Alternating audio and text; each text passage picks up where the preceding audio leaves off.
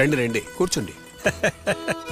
ఇంకెందుకు? వచ్చే ముహూర్తానికే చేసేద్దాం. పెయింటింగ్ చేసి ఇల్లు సిద్ధంగా ఉంచారు. మా ఇల్లు పెయింటింగ్ చేసి మూడేళ్ళు అయింది మా అమ్మాయికి పెళ్ళయింది పిల్లాడు కూడా. పెళ్ళి అయిపోయిందా? ఆయన మా పెద్దమ్మాయి పెళ్ళి గురించి చెప్తున్నారు.